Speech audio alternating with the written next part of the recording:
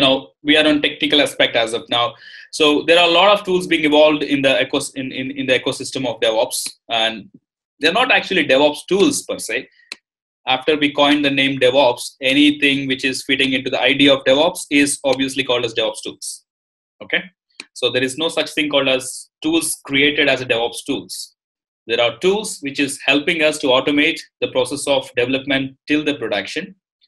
And uh, you know and they're actually brought under the umbrella of devops tools as a you know high level name.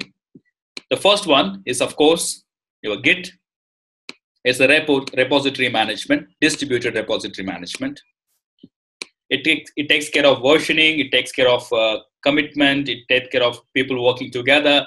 Actually it takes care of continuous integration. The ci concept continuous integration is taken care by the git so we will install Git. We'll learn the Git. Actually, as a team, whoever we are expecting 10 members in the session. I only see six and seven. One actually left now. Okay. And um, mostly, I think it's technical reasons.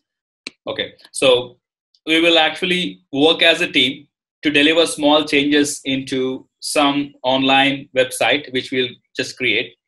All right and see how a continuous integration concept works and what's the real advantage of it and how should be implemented in your teams especially Rena, if you're trying to create this uh, DevOps structure in your organization, all right?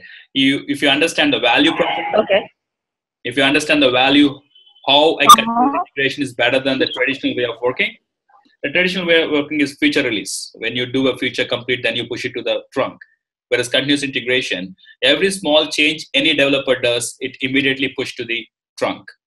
All right. And what's the benefit? You actually save the time is all discussed. So we will actually install the Git. We will do hands-on. We'll configure. We will do a couple of use cases as a team. That's first. And the second, we'll move on to. I think second is Docker. Yes. I mean we can take Jenkins as well. So we can. I I'll go with Docker next. So this will be two day session on Git and two day session on Docker. Uh, in this two day session, first day off, off day is mostly theoretical, talking about what is Docker and stuff. And then other off section is installing Docker. And then the next day, we will do some use case and all of you also install and do it. Okay.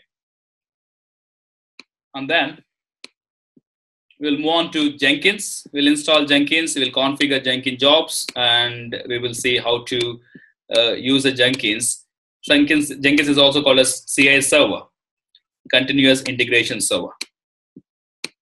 Okay,